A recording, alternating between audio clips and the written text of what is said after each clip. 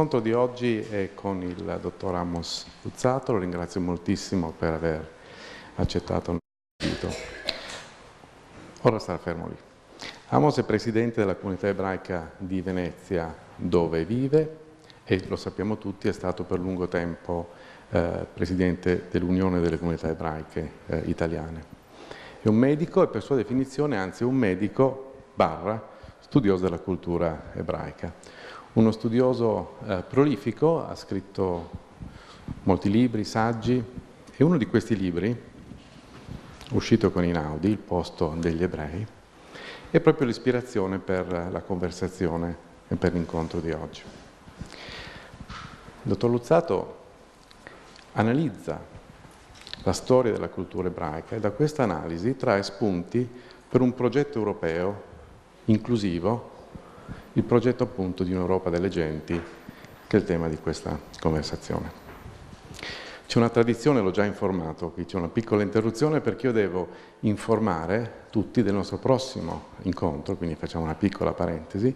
Ora apparirà il, eh, la locandina l'annuncio del prossimo incontro. Il nostro ospite sarà Carla Del Ponte, lo ricordate, già procuratore capo del Tribunale per i crimini di guerra, eccolo qua, il tema sarà il processo eh, Milosevic. Il tema è importante di per sé, credo sia importante anche per dare una lettura di quello che sta per avvenire nei paesi vicini a noi, nel Nord Africa, con gli eventi che si stanno dipanando in queste settimane. Sarà un'ispirazione importante per immaginare eh, il futuro quello che ci aspetta. Ma torniamo a noi. Vogliamo quindi parlare del contributo, dell'esperienza del popolo ebraico, della cultura ebraica nella, nel progetto europeo.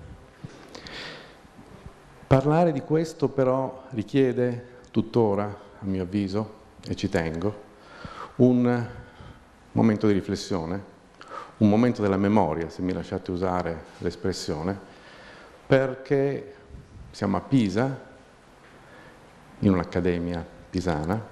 Beh, a Pisa e nell'accademia pisana sono successe poco tempo fa cose fatte di una gravità inimmaginabile, non ho termini per, per definirle, cose che dobbiamo ricordare. Per ricordare questo abbiamo voluto avere una testimonianza proprio dall'interno, una persona che ha vissuto a Pisa, ha studiato a Pisa e da Pisa ha visto e ci racconta alcune cose che ha vissuto. Per me è stata anche a livello personale un'opportunità straordinaria conoscere e poter parlare con il rabbino Elio Toaf e devo ringraziare sia a livello personale, ci tengo molto, sia a scuola. Voglio ringraziare Clara Waxberger, vicepresidente della comunità di Pisa, che ha dato l'opportunità a me di incontrare questa persona eccezionale. Una persona di eh, un'ironia, una leggerezza, una profondità inimmaginabile. Naturalmente il livornese mi ha accolto con un meglio morto in casa che un pisano all'uscio. Non sono pisano e quindi mi è andata abbastanza bene, però me la sono portata. E lui ho chiesto di raccontarci alcune delle sue esperienze in quegli anni, qui eh, a Pisa, Abbiamo estratto un brevissimo uh, filmato che vorremmo farvi, farvi vedere. Quando dovetti fare la tesi di laurea non c'era nessuno me lo voleva dare. Nessuno me lo voleva dare. E allora non sapevo come fare. E c'era mossa. Sì. Era antifascista e che eri stato disposto a dartela. Sì, lui ha, fatto una cosa che gli poteva costare il posto. Eravamo in uno, in uno stadio della società che non, non si è ripetuto, è finito, è stata una cosa che, che un'epoca che è terminata. Questo ci fa piacere. Che Sì, sia ah, certo, specialmente a me. E anche a così tanta distanza si riesce a capire, a razionalizzare come è stato possibile? È inspiegabile, perché presi uno per uno erano persone per bene, erano persone che studiavano, Eh, era la politica che quella che ha rovinato tutto, purtroppo ha rovinato tutto. E io mi ricordo che ero a Pisa, non sapevo eh, cosa fare, dovevo andare a mangiare, se andavo a mangiare lì sul, lungo, sul, sul Lungarno c'era una trattoria, non diamo da mangiare alle ebrei. e allora andavo da parte Rocques, il quale apriva la casa, c'era il cameriere, un gran pranzo, non potevo farlo tutti i giorni. No, ma mi domando la tornare nella città, eh, rivedere quella trattoria dove non si poteva mangiare.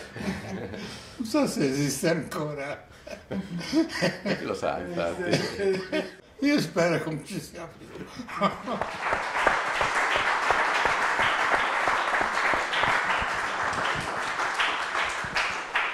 È un, è un estratto brevissimo di una conversazione molto lunga.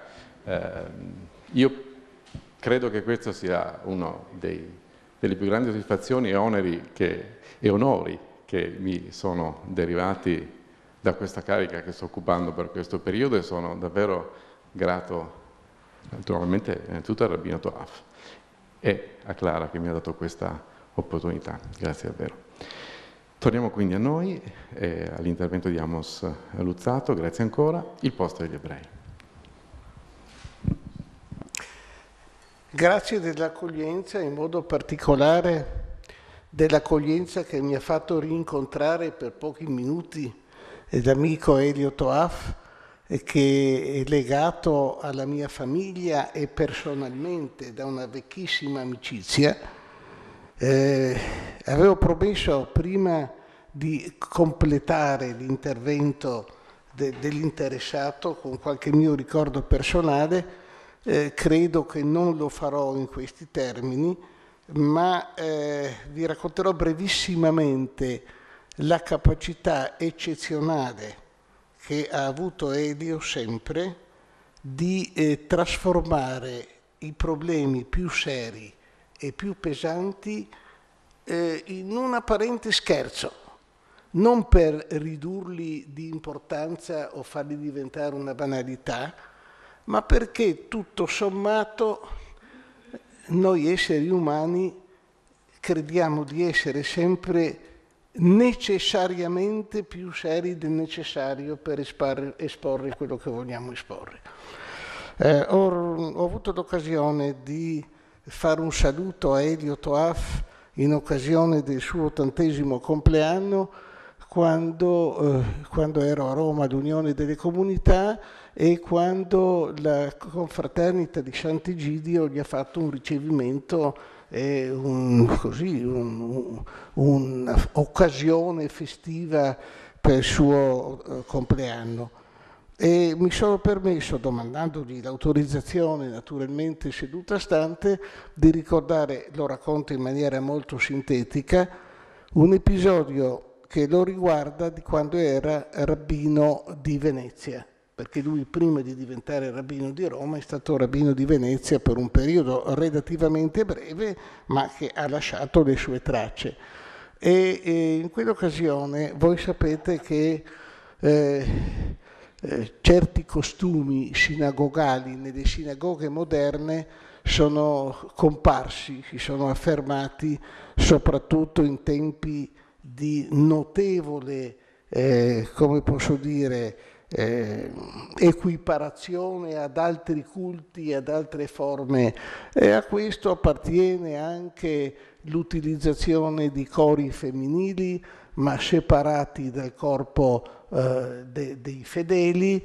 Eh, e a Venezia lui ha trovato questa situazione, c'era un coro femminile chiuso da quattro teli verdi che lo isolavano dagli altri e che con sua grande meraviglia entrava in funzione nei momenti esatti che doveva cominciare. Era allenato in una maniera straordinaria, tanto straordinaria che lui ha avuto qualche sospetto e ha controllato bene tutto l'ambiente fino ad avere scoperto che eh, il cantore dell'occasione aveva un, un bottone un, eh, sotto il tavolo e facendo un'azione che di sabato non si potrebbe fare, premeva questo bottone e accendeva una luce verde dentro al coro, allora loro cominciavano. Erano talmente bene addestrati che gli, che gli serviva la luce verde per sapere quando cominciare. Eh, un altro rabbino avrebbe probabilmente eh, fatto una ramanzina, fatto una predica, spiegato perché non si doveva fare, eh, forse in termini anche aggressivi. Eh, Toaf eh, si è limitato a prendere un paio di forbici e a tagliare i fili elettrici. E il sabato successivo, quando è arrivato il momento, il coro è rimasto in silenzio eh, eh, in mezzo all'imbarazzo di tutti i presenti, eh, vedendo il cantore che continuava a premere disperatamente quel bottone che aveva sotto il leggio, ma non succedeva niente. E a questo punto lui stesso si è voltato a cercare soccorso dal nuovo rabbino e il nuovo rabbino rideva rideva di cuore, era tutto contento, rideva come un giovinetto, come un bambino. È bastato questo, lui ha capito questo non si può fare, ma detto in una maniera che eh, certamente pochi avrebbero saputo fare al suo posto.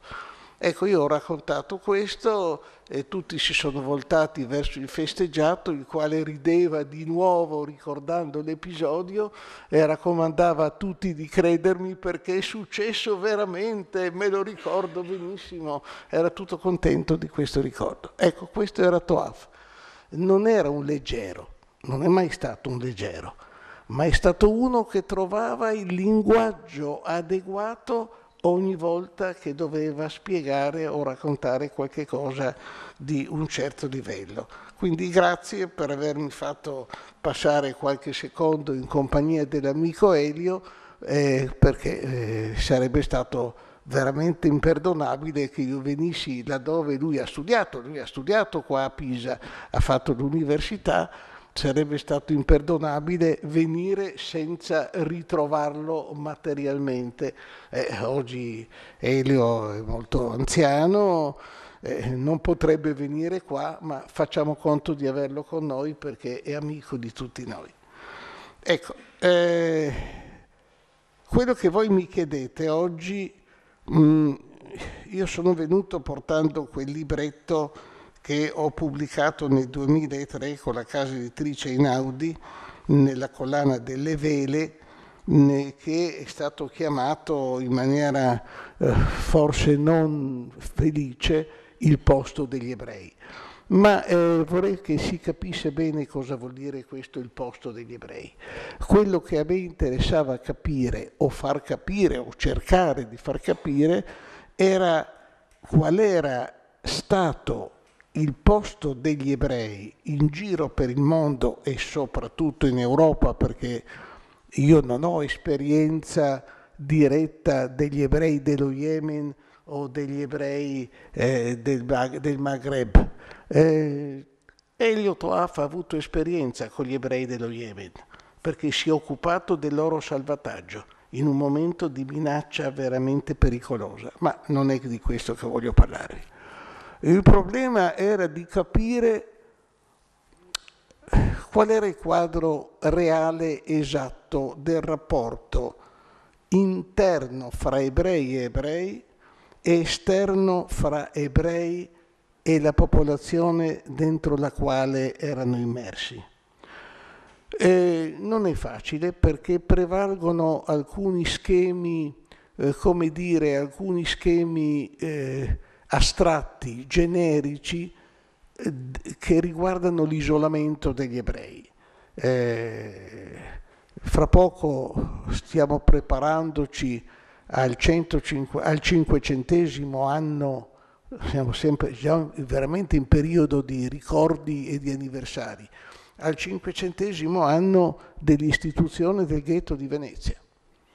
Eh, a Venezia il ghetto, che poi è una parola pare mal pronunciata dagli ebrei di origine tedesca, che in realtà si trattava del getto, cioè di una fonderia per fare monete, per coniare monete, e in questo getto diventato ghetto sono stati isolati più o meno gli ebrei nel 1516 dopo che eh, avevano dovuto fuggire dalla terraferma dopo la battaglia di Agnadello.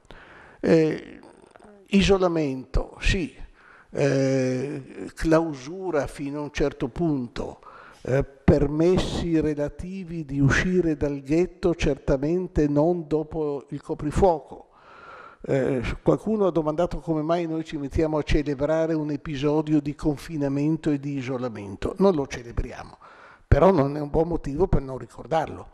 Cioè, celebrare un conto e ricordarlo con tutto quello che ne consegue un altro. Sì, erano stati isolati, questo non c'è dubbio. Eppure dei rapporti precisi con la popolazione locale ci sono stati. Io vi porto un esempio banalissimo che riguarda l'Italia, non soltanto Venezia. L'Italia è l'unico paese che è stato sede di vita ebraica, come tanti altri in Europa, dove gli ebrei hanno sviluppato una forma particolare propria del dialetto locale. Parlare il dialetto locale e dargli una forma ebraica eh, significava certamente essere interni alla cultura di tutti i giorni, interni alla, eh, alla, alle forme di comunicazione spontanee che si verificavano fra la popolazione. In altri paesi non è così, perché è vero che per esempio nei paesi dell'Europa centro-orientale gli ebrei parlavano una lingua che aveva a che fare con l'antico alto tedesco modificato e quindi avevano assunto una lingua della popolazione, ma era una lingua già esistente e parlata dalla popolazione di lingua tedesca. Non era il dialetto locale che loro utilizzavano per parlare con la gente, per parlare fra di loro. E altrettanto vale per il cosiddetto ladino o giudeo spagnolo che si è diffuso dopo la cacciata degli ebrei di Spagna. E io credo che questo elemento, che sembra una piccolezza, sembra un dettaglio insignificante, rappresenta invece l'integrazione quotidiana degli ebrei nella vita della città che diventava anche, sia pure con una buona dose di cattiveria e di repressione, la loro città, di quella cultura che diventava anche la loro cultura. E questo eh, fa pensare perché si vede che l'Italia è stata una matrigna sì, ma una matrigna abbastanza accogliente per la presenza ebraica. Ma non è questo l'unico elemento del quale voglio parlarvi per quello che interessa la, il contributo ebraico alla cultura più generale. E il tempo non mi permetterà di fare un'analisi da congresso eh, che meriterebbe però, eh, meriterebbe essere fatta e meriterebbe pensarci. Però eh, voglio dire, gli ebrei nel corso di almeno 3.000 anni si sono trovati in contatto con culture diverse. Eh, la dispersione degli ebrei non è stata soltanto o prevalentemente conseguenza di sconfitte militari e di deportazioni dei principali esponenti della popolazione locale in altre sedi. Ha avuto altre cause, anche altre cause, probabilmente non tutte ben conosciute e che meriterebbero una conoscenza più approfondita, ma le conseguenze di questa dispersione sono state da un lato caratterizzanti per gli ebrei. Esempio banale, gli ebrei in antichità biblica parlavano l'ebraico, che non è certamente l'ebraico moderno che si parla per le strade di Tel Aviv, eh, eh, ma questo nessuna lingua moderna ricalca esattamente eh, i, i, suoni e la grammatica delle lingue antiche, e che però è ebraico, questo non c'è dubbio. Però durante primo, la prima esperienza diasporica, quella fatta in Mesopotamia, e forse anche prima, gli ebrei hanno imparato un'altra lingua, una lingua affine a quella ebraica, la lingua aramaica, che poi non è soltanto diventata la lingua comune di tutti i giorni di conversazione e di comunicazione, ma è diventata una lingua letteraria. E il famigerato, famoso famigerato Talmud è prevalentemente scritto in un dialetto aramaico, cosiddetto aramaico orientale, perché c'è anche l'aramaico occidentale. E questo evidentemente rappresenta una porta aperta. Eh, mi avete fatto ricordare così mentre parlavo un episodio biblico. C'è un episodio che riguarda un assedio di Gerusalemme. Eh, truppe eh, della Mesopotamia stanno per assediare Gerusalemme, Gerusalemme vuole resistere e il generale straniero eh, con disprezzo si mette a parlare agli abitanti dicendo che loro non hanno nessuna speranza di vincere poveri, piccoli, deboli come sono nei confronti del grande imperatore. E allora gli esponenti della comunità di Gerusalemme, degli ebrei di Gerusalemme, dicono, e la Bibbia non lo nasconde, interessante questo, al generale, per cortesia, parlaci in aramaico in modo che il popolo assiepato sulle mura della città non riesca a capire queste tue minacce. Perché noi lo capiamo l'aramaico, ma non vogliamo che gli altri lo sentano. E naturalmente, ingenuità, naturalmente il generale risponde e io invece parlerò ebraico e non aramaico proprio perché voglio che sentano e che piglino paura. Eh, era, era ovvio che sarebbe finito così. Ma loro adoperavano la lingua che era diventata la lingua franca internazionale e la scrivevano e hanno fatto delle opere massicce in questa lingua, tanto che se qualcuno che conosce l'ebraico vuol dire adesso approfitterò per capire un po' cosa c'è scritto in questo misterioso Talmud, non ci riuscirà tanto facilmente, anche se l'ebraico è la sua lingua di tutti i giorni, perché l'aramaico è una lingua affine, ma non è la stessa lingua. Allora, la domanda che sarebbe corretto porsi è se durante queste, mm, queste peregrinazioni, durante queste storie di contatti eh, dolci o forzati, di contatti quotidiani o in occasioni storiche particolari, hanno dato anche loro qualche cosa, qualche eredità alla popolazione che li accoglieva, in mezzo alla quale vivevano, o si sono limitati a diventare un, eh, un ricettore di quello che era la cultura della maggioranza. Che fossero ricettori della cultura della maggioranza, direi di escluderlo perché sì, ci sono alcuni, alcuni aspetti, eh, il calendario, il nome, il nome dei mesi, il nome degli angeli, ma è troppo poco. Loro avevano sviluppato sempre di più la propria cultura con una lingua nuova che prima non era stata adoperata. E tuttavia, facciamo un salto di generazioni, facciamo un lungo salto di generazioni e domandiamoci, io ho menzionato il Talmud, e domandiamoci che cosa significa per un non ebreo oggi parlare di Talmud. Co- cosa intende, cosa capisce che sia il Talmud?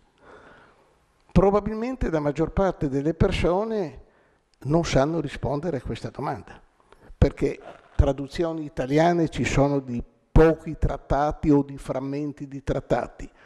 Eh, sì, se uno è bene acculturato trova traduzioni complete in inglese, in francese in tedesco, ma non è facile leggerle perché sono abbastanza pesanti, abbastanza difficili. Adesso c'è un'iniziativa che non so quale risultato avrà di fare la traduzione in italiano, ma eh, io sarò, quando sarà completata questa traduzione, se sarà mai completata, eh, io sarò uno scheletro polveroso e probabilmente la maggior parte di noi farà la stessa fine, perché ci vorranno decenni e decenni per riuscire a completare un'opera di questo genere. Non posso darvi indicazioni bibliografiche perché eh, non le raggiungeremo noi. Ecco. Ma che ha dato qualcosa o no? Sì, ha dato qualcosa.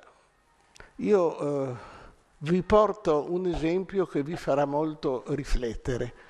Anni fa ho trovato un testo talmudico, un'edizione particolare a Venezia, e eh, che parlava di uno dei grandi maestri talmudici che era stato eh, condannato dai suoi colleghi, non posso dire scomunicato perché è un termine improprio parlando di cose ebraiche, ma diciamo scomunicato tanto per capirci, cioè eliminato da tutte le cariche e, e condannato pubblicamente e un altro dei suoi colleghi molto amorevolmente gli domandava ma prova a pensare, hai fatto qualcosa che non andava fatto? Allora lui si è ricordato e vi cito in italiano, sì, mi ricordo nel mercato superiore della città di Zipori, in Galilea, eh, ho incontrato un allievo di quell'uomo. Capite cosa vuol dire allievo di quell'uomo? Un allievo dei giudeo-cristiani non possiamo ancora chiamarli neanche cristiani perché erano proprio una corrente interna del mondo ebraico che però, accidenti, se ha dato qualche cosa al resto della, del, de, dell'ecumene di, di, allora e di dopo. E, eh, sì, e, lui mi ha fatto una domanda, mi ha, fatto, mi ha chiesto cosa si poteva fare con la mercede della prostituta e col prezzo di vendita di un cane. Allora, qua ci vuole una piccola, brevissima parentesi. Eh, secondo l'antica legge ebraica, la Torah, eh, la mercede della prostituta e il, il prezzo di vendita del cane non possono essere utilizzati per comprare un animale da offrire quando c'era il santuario a Gerusalemme, da offrire sacrificio eh, al Signore Dio. Quelli non potevano essere. Lui domandava, si può fare qualcosa, malgrado tutto, con questa brutta fonte di guadagno, diciamo così? E io non ho saputo rispondere. E lui invece mi ha detto, sì, si può fare qualcosa, si fa un cesso per il sommo sacerdote. E guardate che eh, l'aspetto formale diventa quasi volgare, ma se ci riflettete attentamente, qua c'è una valutazione di carattere estetico e morale che lui diceva e che il maestro ebreo non era pronto a cogliere. E allora dice io ho detto che aveva ragione lui, forse, forse ho sbagliato, eccetera. Nota, piccola notazione aggiunta, eh, il testo che io avevo citato eh, aveva una censura non rabbinica, dei cataveri. Sapete chi sono i cataveri? I cataveri erano i censori della Serenissima, che certamente non erano ebrei, ma non volevano che questo dialogo che esisteva venisse troppo conosciuto. Allora la domanda che si pone subito automaticamente, è per questo che vi ho citato questo episodio, ma allora questo dialogo c'era, malgrado le diffidenze, malgrado le possibili proibizioni e censure, evidentemente questo dialogo c'era. Entro quali limiti? Come? Quali influenze può aver avuto? Di solito si risponde a questo citando casi singolari.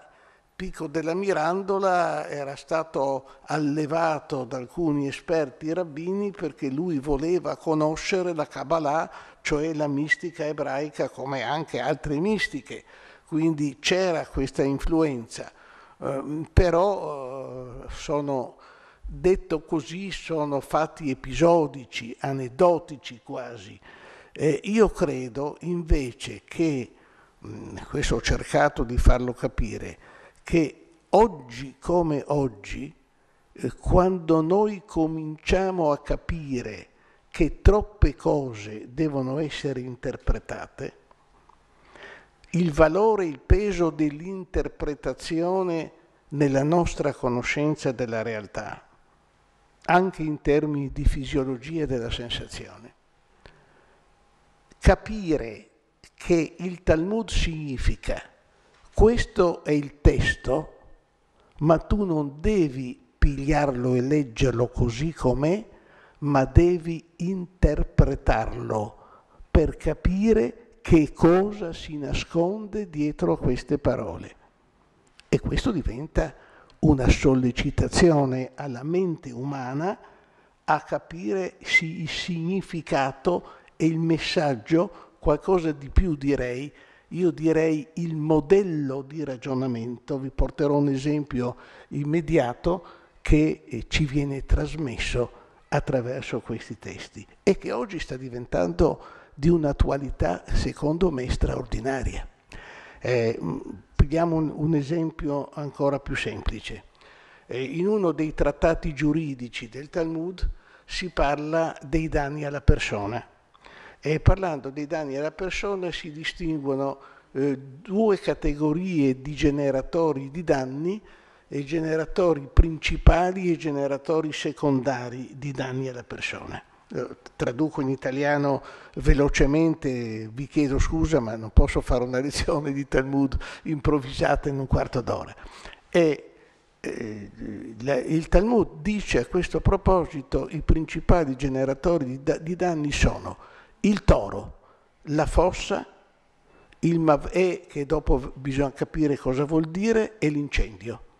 Già qua si comincia a capire cosa intendiamo per generatore di danno, cioè non è causa di danno, perché l'incendio eh, si propaga e quello che si propaga sarà il generatore eh, materiale del danno, quindi c'è una concatena di eventi. Però la domanda principale è quando si parla del toro. Perché il toro? Perché ci occupiamo del toro? E se invece di essere il toro fosse un altro animale, eh, un cane rabbioso, non vale la stessa cosa? Perché non parla di un cane rabbioso? E allora lo studio attento di quello che dice il Talmud in questo caso ci fa capire che il toro è un modello che può anche non esistere come danneggiatore il toro, ma qualcuno che possa essere rappresentato dal toro per alcune qualità, alcune proprietà o alcune attività che sono proprie del toro. Incornare, e si può incornare in tanti modi, adoperare i denti, danneggiare coi denti e si può paragonare al danno da denti una serie di altri danni possibili e poi il toro vero e proprio, non, non lo eliminiamo, poveretto. Ma noi lo facciamo già, lo facciamo senza accorgercene, cioè senza dare un peso fondamentale. Tutti voi avete cominciato lo studio delle declinazioni latine con rosa rose, sì o no? Mi pare che l'avete fatto tutti. E parliamo soltanto della rosa? No. Allora non parliamo della rosa, sì, parliamo della rosa come modello di tutte quelle parole che, femminili che terminano con la A, ma anche della rosa, ma la rosa sta per tutta una serie di altri agenti. Questo è il Talmud. A saperlo adoperare, il Talmud è qua, non dico tutto qua perché allora voi vi alzate, andate via e dite con questo siamo talmudisti già eh, diplomati, abbiamo terminato. No, non siete diplomati, non sono neanche io eh, talmudista diplomato, però il modello di ragionamento che ci propone il Talmud sta diventando, secondo me, ogni giorno più di attualità nella semiotica, nella analisi dei testi, eh, nello studio della stessa letteratura italiana o non italiana, probabilmente anche nelle scienze esatte. Probabilmente anche nelle scienze esatte.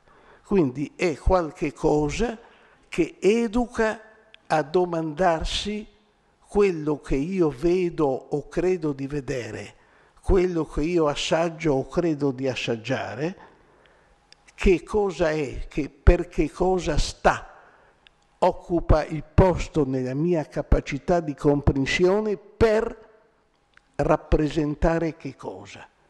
Quindi io credo che così messo, se noi pigliamo il Talmud e lo buttiamo via come una cosa misteriosa, astrusa, complicata, cavillosa, eccetera, non abbiamo ancora capito il grande regalo che ci viene fatto come metodologia di ricerca e di analisi di cosa? Della realtà che ci circonda, della realtà che ci circonda e questo va bene per più di una disciplina. Eh, eh, voi mi avete presentato eh, gentilmente, eh, affabilmente per, la, per, essere stato professionalmente un medico per più di 40 anni della mia vita, ma eh, non è stato soltanto così eh, a me mi hanno preso molte volte in giro, eh, mi hanno anche un po' dileggiato perché io volevo capire meglio i concetti, le parole, le affermazioni che facevamo come medici. Volevo capire cosa vuol dire il patologico, se esiste o se è un modo di intendere qualcosa che ci dà fastidio personalmente. Volevo capire molte altre cose di questo genere e soprattutto, ma questo non vorrei deviare un po' da, dal, dal, filone, ma il, fi, il filone è questo però, soprattutto l'uso improprio delle parole dove ci porta, perché l'uso improprio è, è un'insidia normale e patologico. Siamo sicuri di poter adoperare impunemente questa terminologia? Normale, in statistica, vuol dire una cosa completamente diversa di quello che vuol dire al letto del paziente in clinica. Eppure viene adoperato molto spesso come se volesse dire la stessa cosa, traendo delle conseguenze. Conseguenze che farebbero pensare che un pivot di pallacanestro, essendo al di là dei due classici valori della deviazione standard in più o in meno rispetto alla norma, un, pa- un patologo, un patologico, mentre tutti farebbero gara per metterselo in squadra e quindi sarebbe tutt'altro che patologico. Ma le conclusioni e le deduzioni che si fanno attraverso questa, eh, questa utilizzazione rischiosa della, della parola che noi adoperiamo è esattamente quello che affronta permanentemente il Talmud quando analizza le parole che trova nei testi della tradizione. Dice sì, ma lui si occupa di un'altra cosa, lui si occupa dell'azima pasquale. Sì, ma quell'azima pasquale sta per qualche altra cosa, anche per l'azima pasquale, ma anche per qualche altra cosa. Il problema è di capire esattamente per che cosa. È un insegnamento che secondo me abbiamo appena cominciato a utilizzare. Certo, l'ironia non alla Toaf, quella è un'ironia istruttiva, amichevole e, e, e piacevole, ma l'ironia si fa presto. Eh, se volete che io mi autoironizzi, vi racconto che in un certo periodo della mia vita eh, un mio capo, eh, che molto arrabbiato per queste cose che dicevo, aveva detto in un convegno eh, che io avrei curato da quel momento in poi gli ammalati con delle dosi di logaritmi.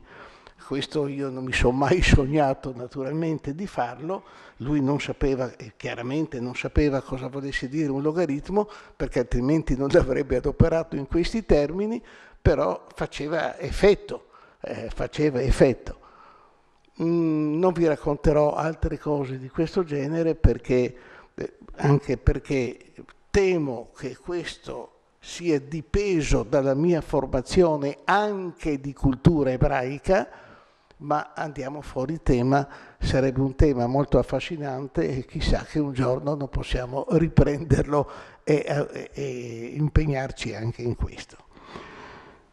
E quello che succede questo è l'ultimo punto al quale voglio, del quale voglio intrattenervi.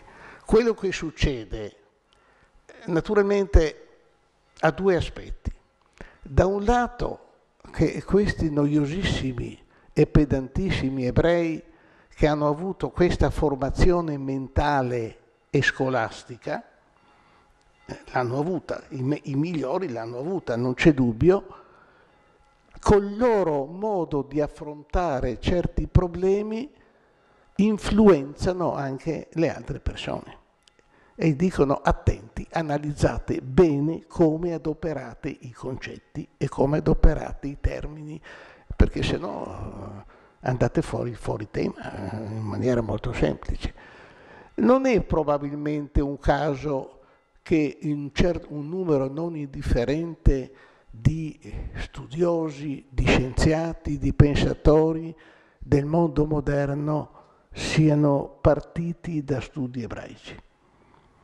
E non per corrompere o compromettere il valore non ebraico degli studi più, di carattere più generale, ma perché la metodologia è quella che ha aiutato a capire molte cose e che è servita e può essere trasmessa, magari decodificata, magari eh, tradotta in un'altra terminologia, ma pur sempre proveniente da questa eh, dolorosa necessità, spasmodica necessità di essere sicuri che il concetto che si esprime dicendo certe parole non è ambiguo, ma ha un significato dal quale non ci si può allontanare. Eh, questo credo che eh, sia un contributo che è, sfugge quasi, che qualche volta sfugge, perché è difficile. Non crediate che se io parlo di questo in ambiente ebraico, siccome tutti hanno questo legame tradizionale e culturale e sono nati, sono, sono cresciuti sviluppando questo, questo legame culturale, che sia compreso meglio di quello che si comprende fuori dall'ambiente ebraico, non, non crediate, non è così semplice. Eppure io sono convinto, e questo convincimento è quello che io vorrei trasmettervi, che questa influenza esiste anche se non è sempre consapevole. Questo è il punto sul quale io vorrei insistere molto in questa inevitabilmente eh, breve presentazione. Ma eh, si può sostituire con qualche altra cosa questa tradizione di studio tipicamente ebraica? Oh, certo, non c'è dubbio che si può sostituire con altro. Eh, non ho ombra eh, di sospetto su questo. Non è l'unico modo di fare cultura è quello di fare cultura ebraica. Non è vero niente e nessuno pretenderebbe una cosa di questo genere. Ma se noi diciamo quale influenza può aver avuto o può avere tuttora la cultura ebraica che troviamo a New York come a Cambridge, che troviamo al Sissa di Trieste, eh, perché c'erano ebrei anche là, eh, o, o, che troviamo alla scuola normale di Pisa. non so, eh, ecco, io credo che questa domanda vale la pena essere posta e vale la pena farci una riflessione, una riflessione sufficiente.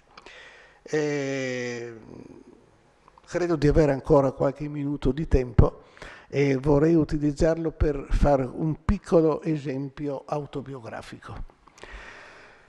Io ho avuto nella mia vita scolastica la fortuna di incontrare alcune persone mh, che hanno avuto sul mio modo di ragionare un'influenza determinante. E io vorrei citarvene due o tre per farvi capire che rapporto ha questo col discorso che vi ho fatto fino a questo momento. Scusate un momento.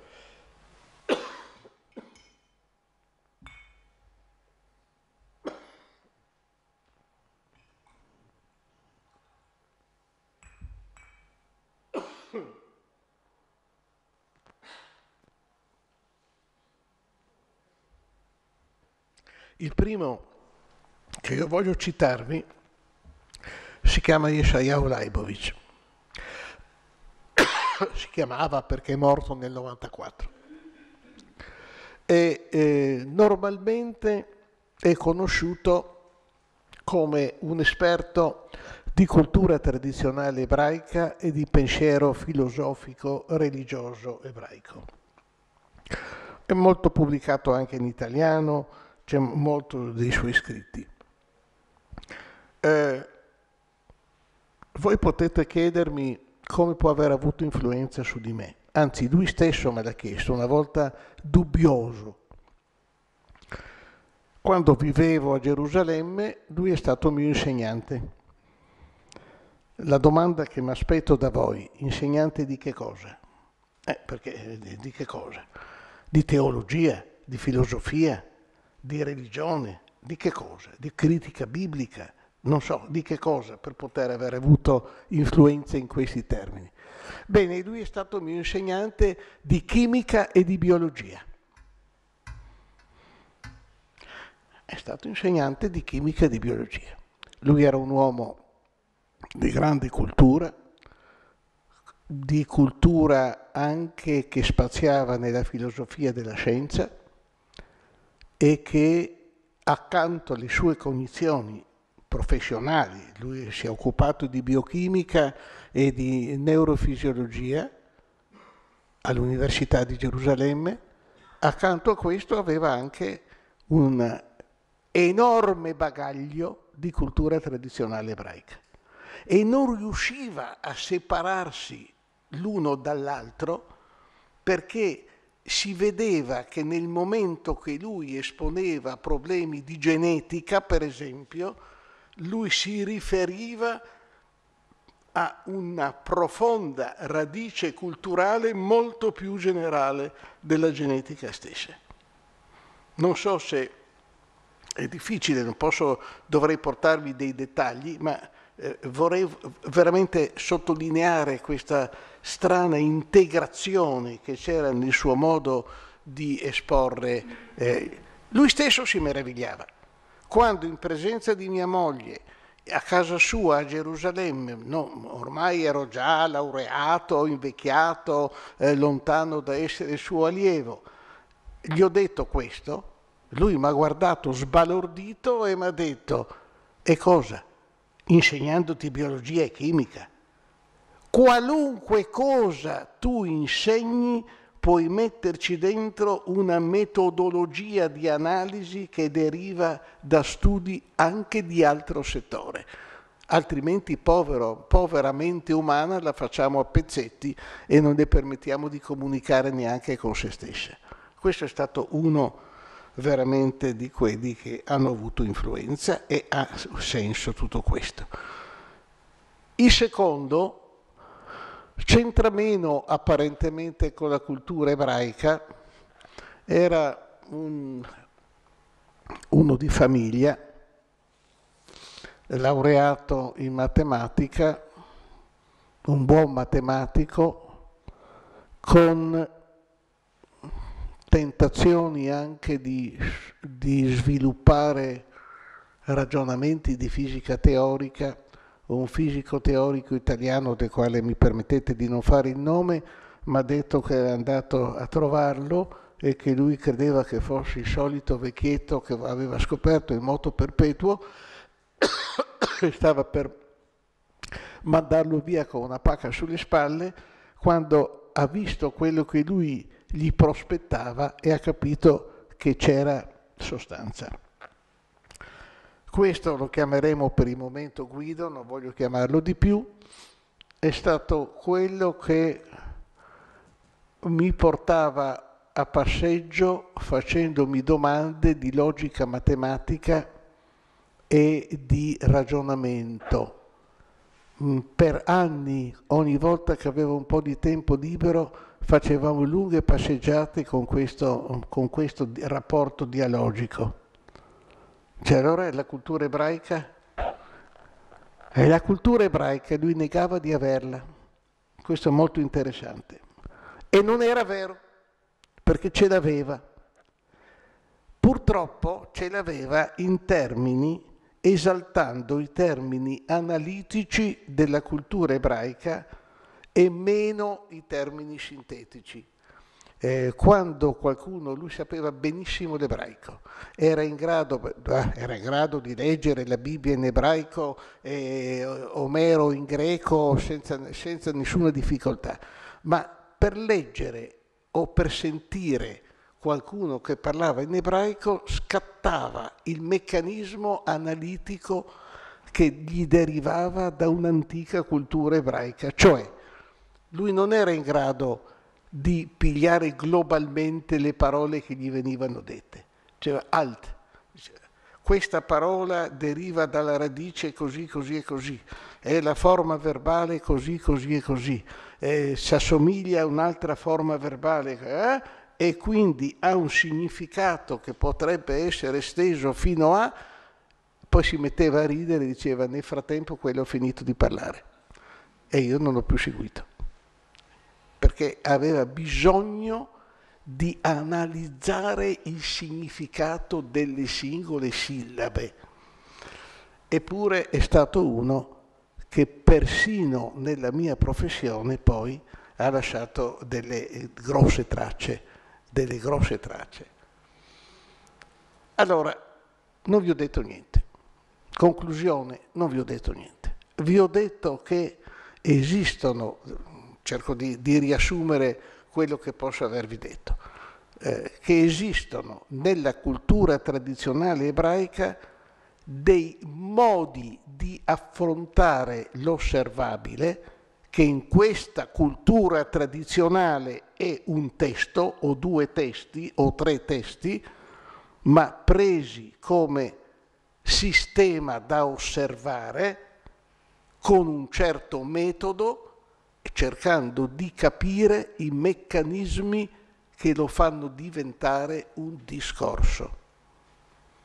Questo è un piccolo tesoro che esiste nella cultura tradizionale ebraica. Eh, la capiscono gli ebrei? Dubito, francamente, dubito. Non sono per niente sicuro. Allora forse sono matto io sto cercando di vedere cose che non ci sono. No, qua non dubito, qua sono sicuro di no. Perché? Ma perché vorrà dire pur qualcosa che io posso passare da un settore di studio a un altro stimolato da quello che mi accorgo di avere sviluppato di comprensione di uno dei due settori. Da un settore talmudico a un settore, che so io, statistico, probabilistico. Eh, non posso andare nei dettagli perché sarebbero probabilmente anche noiosi. Quindi sono sicuro che c'è un elemento, forse io stesso non sono riuscito a capirlo fino in fondo, forse è più un intuito, però anche l'intuito può avere la sua parte nel sviluppo delle culture e nelle relazioni fra le culture. Io più di questo, in questa occasione, in questo incontro, non mi sento di dire e spero che promuova un po' di riflessioni, anche critiche.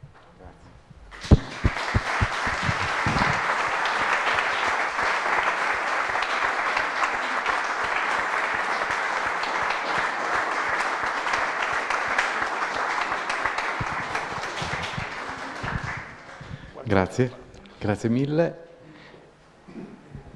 Il nostro relatore ce l'ha in qualche modo suggerito e ci ha invitato a muoverci in questa direzione, quindi domande o commenti da parte vostra sono particolarmente che graditi. qua perché io non sento molto Ok, bene, sì, sì, va benissimo. No, vicino. distribuiamoli il, il microfono, penso che si sente.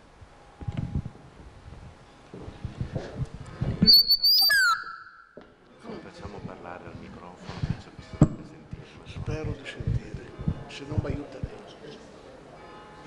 Io sono un po' commosso per- perché Luzzato mi ha raccontato. Io sono biologo e genetista, e, e mi occupo di filosofia, eh, un pochino di matematica e ho avuto un mio prozio che si chiamava Yankel Barer e che era un tzaddik che è morto in Israele. Grazie.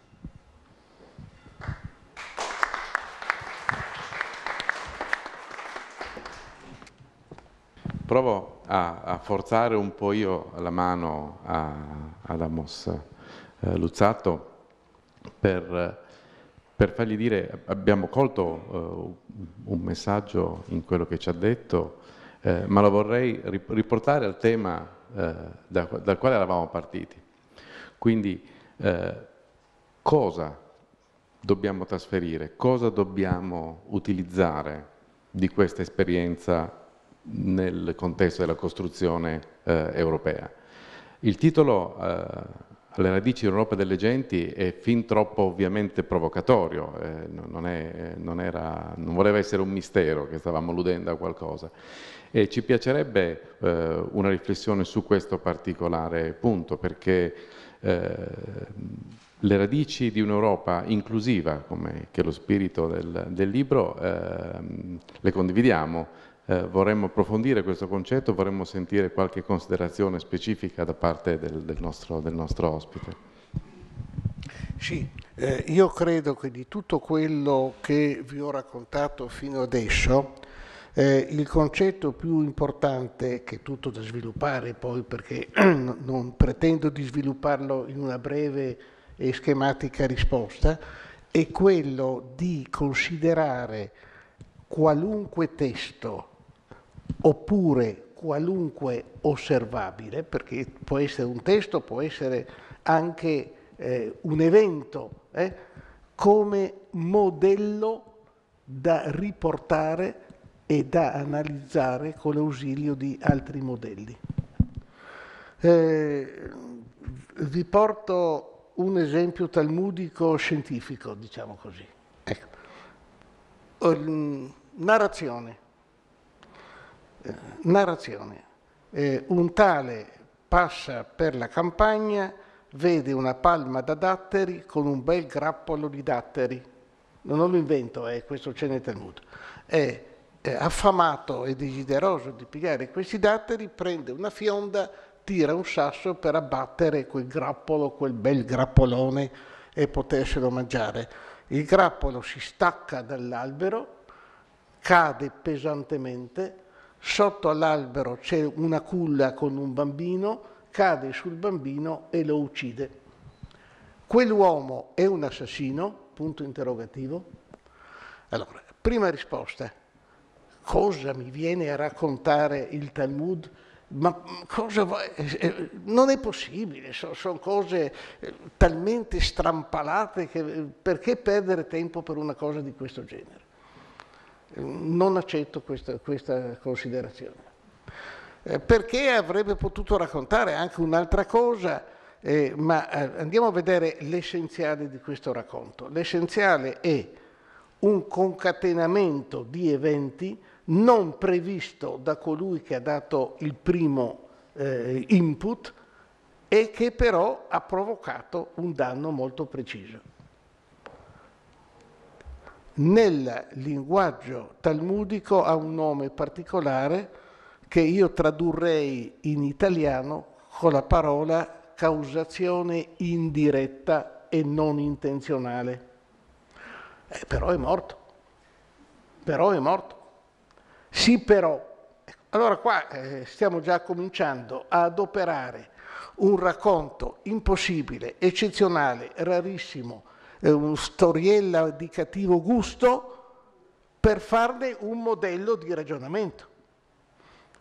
Questo, il Talmud è pieno di cose di questo genere. Allora, la modellistica e il Talmud eh, io se, se, avrò forza ancora di campare un po' di anni lo scriverò, queste cose le scriverò, perché ritengo che sia l'unico modo di capire il Talmud stesso.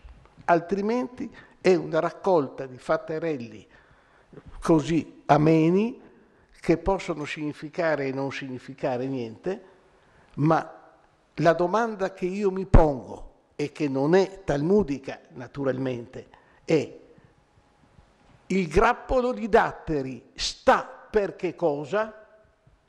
La fionda sta per che cosa? Cosa posso sostituire alla fionda, al grappolo, a colui, eccetera, eccetera, eccetera? Allora, in, se io posso rispondere, e non sarà mai una risposta unica, non c'è dubbio che non è una risposta di valore unico, però se io posso dare una risposta, ho già utilizzato la narrazione come un modello. Ecco. Questa eh, è, è la maniera migliore con la quale posso avvicinare. Se noi siamo capaci di capire che già nel V o VI secolo si parlava di causazione indiretta e di eh, concatenamento di eventi senza chiamarli con questo nome, ma chiamandoli col nome di un apologo, di una storiella, di un episodio stranissimo, e io mi domando se la stranezza di questi episodi non fa venire in mente che siccome questa gente non era dei perditempo, evidentemente avevano un altro scopo, erano un altro tipo di linguaggio che va capito per quello che valeva. Se questo invece è vero, allora cerchiamo di vedere quanto di questo modellismo, eh, brutta parola perché si pensa agli aeroplanini che si tirano in giro, ma quanto di questo modellismo può servire oggi a un ragionamento sui nostri problemi, sulle nostre ricerche e sul nostro pensiero.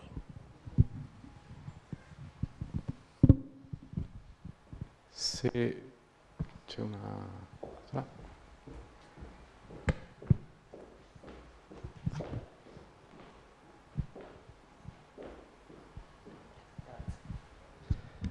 Grazie. Eh, lei prima accennava, anzi ha sviluppato ampiamente eh, il tema eh, della capacità che è propria dei testi talmudici, ma in generale della cultura ebraica. No, no, eh, no ah, sì, qua, per favore, perché sento sillabe e è, peccato che non possiamo... Eh, ecco, grazie. No, certo. Ehm... No, no, no gli altri sono più fortunati di me. Eh, le dicevo, eh, nella cultura ebraica, lei ce l'ha illustrato ampiamente, eh, vi è la costante necessità di argomentare per distinzione, di cogliere una parola in tutta la gamma dei suoi significati, certo. delle sue sfumature. Ecco, il linguaggio politico contemporaneo sembra procedere nella strada opposta, vale a dire per semplificazione arbitraria o quantomeno eh, per facili eh, ipotesi di lavoro che spesso non tengono conto della ricchezza dei dettagli della realtà su cui poi il decisore politico assume un certo punto di vista e lo comunica agli altri. Ecco, eh, considerato questo, eh, secondo lei, com'è possibile invertire eventualmente questa tendenza e approfittare invece del, della ricchezza Beh, che la cultura ebraica ci suggerisce? Bellissima, bellissima domanda.